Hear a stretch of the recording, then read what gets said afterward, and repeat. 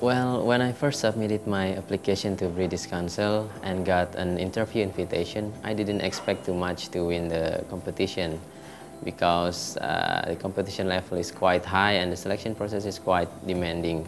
So it gives me a great pleasure to win the competition. I was actually quite surprised because uh, I believe that there are many others excellent applicants uh, for the IELTS prize that probably have a higher score and give uh, better presentations. But I really feel thankful and of course grateful because the British Council has trusted me to be one of the recipients of the British Council IELTS Prize. And the prize itself is so relieving me because now I have another resource to finance my study abroad. And of course it also helps me to uh, realize my dream to study abroad. The prize is 40 million rupiah. Uh, IELTS Prize give me a chance to make my dreams come true, which is to pursue my, uh, my master degree abroad, especially in Europe. Now I have an offer from University of Antwerp, Belgium, to continue my study in governance and development for the academic year 2017 to 2018.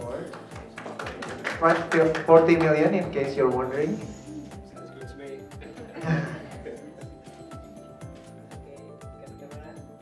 Uh, it really goes without saying that receiving the IELTS prize uh, really uh, eased my financial burden uh, to chase or pursue my study abroad. As we all know, uh, there are many things to be considered uh, if you want to pursue your study abroad. And one of the things, among other things, and probably the most important one is the funding. Well, it was really satisfying actually. I mean, they organized the test very well. And moreover, the British Council staff was also very friendly. The most delightful thing is if you take IELTS with British Council, then you will have a chance to compete in IELTS annual prize.